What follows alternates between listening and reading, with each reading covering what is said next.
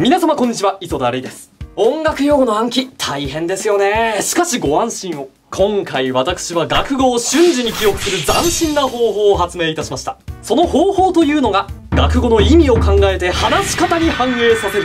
と言ってもよくわからないと思うので模範例をご覧ください。どうぞ。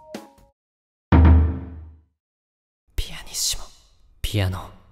メゾピアノ。メゾフォルテ。フォルテ。フォルテッシモフォルテセシモクレッシェンド。デクレッシェンド。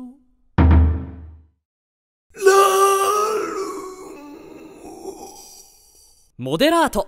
アレグロ。ブタ。リタルナ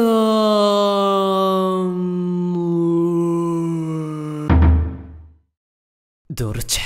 カンタビレ。スケルツァンド。アジタート。カプリチョーソトレンテ？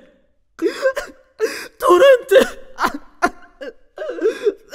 テトレンテこの動画を良い面白いと思ってくださった方はチャンネル登録高評価をよろしくお願い。申し上